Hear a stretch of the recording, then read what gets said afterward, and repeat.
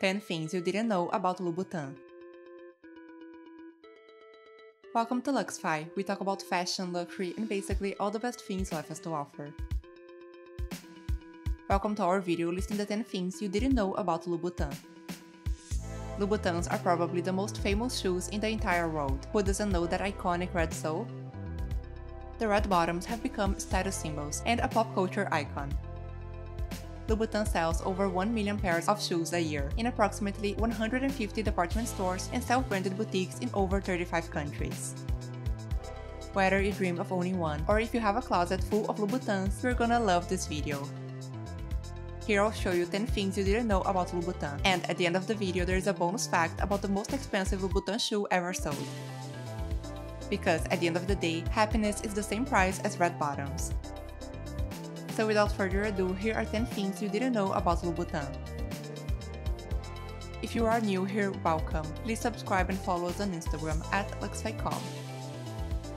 Number 10. Christian Louboutin has no formal training. Louboutin grew up in Paris. As he spent his time sketching shoes rather than studying, he was reportedly expelled from three schools. Although he is not formally trained, he attended Académie d'Art Roederer to study drawing and decorative arts. Louboutin says his fascination with shoes began in 1976 when he visited the National Museum of Art of Africa and Oceania. It was there that he saw a sign from Africa forbidding women wearing sharp stilettos from entering a building for fear of damage to the extensive wood flooring. This image stayed in his mind, and he later used the idea in his designs. Louboutin said, I wanted to defy that. I wanted to create something that broke rules and made women feel confident and empowered. Number 9.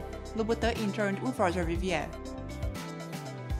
Having run away as a teenager to Egypt and India, Louboutin returned to Paris with a portfolio filled with sketches of fantastical heels. After approaching all of the major couture houses with his portfolio, Louboutin started his career at Charles Jourdan, one of Paris and the world's most respected shoemakers. Subsequently, Louboutin met Roger Vivier, who claims to have invented the stiletto, and he became an apprentice in Vivier's atelier. Then he went on to serve as a freelance designer. Louboutin designed women's shoes for Chanel, Yves Saint Laurent, and Maud Frizon.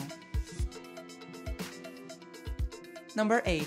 Louboutin opened his first store in 1992. Christian Louboutin opened his first store in Paris in 1992 with funds from two backers. His red-soled shoes, handcrafted in Italy, were soon taken up by Hollywood actresses and Paris fashion establishment. The designer's professional goal has been to make a woman look sexy, beautiful, and to make her legs look as long as he can. His business quickly grew and became the global brand it is today. Number 7. Louboutin first shoes were inspired by Lady Diana. The very first shoes Christian Louboutin designed were inspired by Diana, Princess of Wales.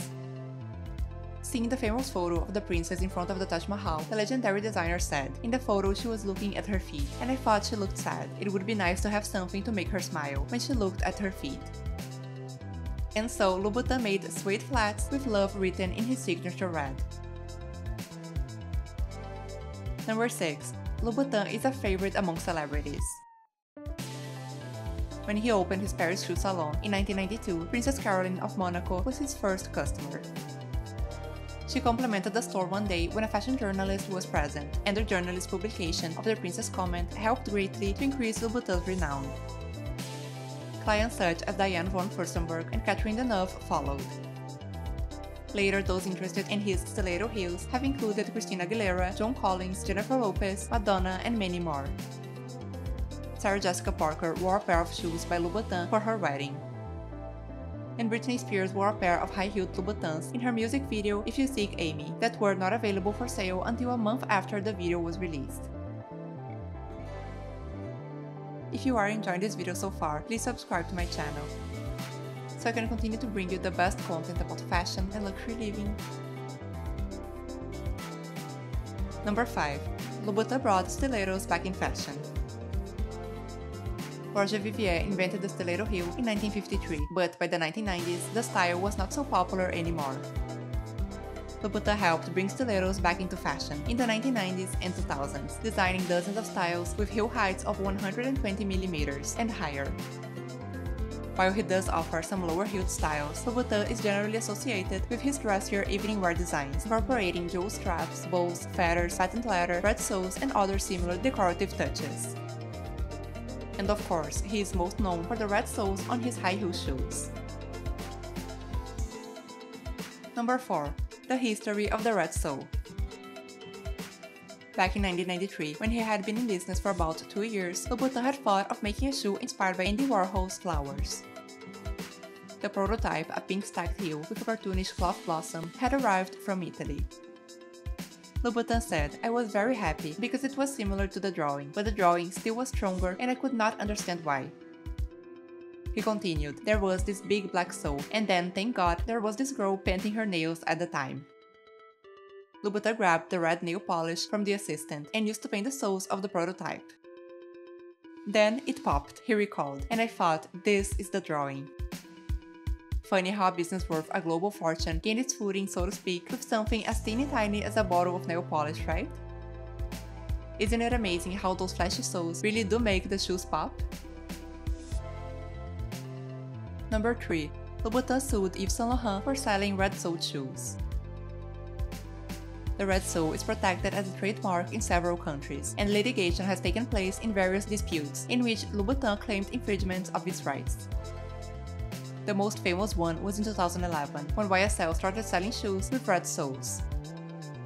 In September 2012, the court finally ruled that Louboutin retains the exclusive right to use the color red on the bottom of its shoes, whenever the outer portion of the shoe is any color besides red, while Yves Saint Laurent can continue to sell its shoes with red soles as long as the whole shoe is red. The YSL monochromatic shoe, over which the lawsuit originated, therefore didn't infringe the trademark, and Saint Laurent was allowed to continue to sell them. Number 2. The most famous Louboutin shoe. When you think of a Louboutin shoe, chances are you are thinking of the Pigalle. Born in fall-winter 2004, the famous shoe style is named after Louboutin's favorite neighborhood in Paris. The Pigalle features a short toe box, giving the illusion of an elongated arch, and has been done in various colors, letters, and heel heights. Louboutin said about his favorite rendition, To my mind, it reaches its maximum expression in black patent leather because of the red sole and the precision of the design. Sophisticated yet utterly sexy, Louboutin's Pigalle pumps are meant to be worn with everything, from a long evening gown to a pair of jeans. The Pigalle pump with 10cm heels and black patent leather is sold for $745. Number 1. The So Kate is a redesign of the Pigalle. Adapted from the Pigalle style, Louboutin created the So Kate style for model Kate Moss. The story goes, while the designer was fitting Moss for her wedding, he reshaped the design of the pigalle by lengthening the point of the toe and by making the heel thinner and higher, just for the model. One of the most iconic mainstays of all Louboutin designs, the So Kate is a classic pointy pump with a towering 12cm stiletto heel and low-cut vamp. Louboutin's So Kate come in an array of colors and patterns and could easily fit any personality. The So Kates are Carrie Bradshaw approved and are sold for $745. Let me know in the comments below which one was your favorite. Comment below which brands you would like to know more about. And for sticking with us this far, here is some bonus information. The most expensive Louboutin shoe ever sold. In 2013, at a Sotheby's auction, which raised money for the Global Fund to fight AIDS, tuberculosis, and malaria, this pair of Louboutin boots were sold for astonishing $50,000. The one-of-a-kind boots were donated by Christian Louboutin and were produced after the auction specifically for the buyer. Sotheby's estimated the boots would be sold at a price between $20 and $30,000, but the final price topped the high estimate for $20,000 the fact that the auction was for charity increased significantly the value of the shoe, but nevertheless, these are beautiful boots in the classic Louboutin red. Thank you for spending some time with us and make sure to like and subscribe so you never miss a video. In return, I'll provide you with the best content about fashion, travel, and luxury living. See you soon!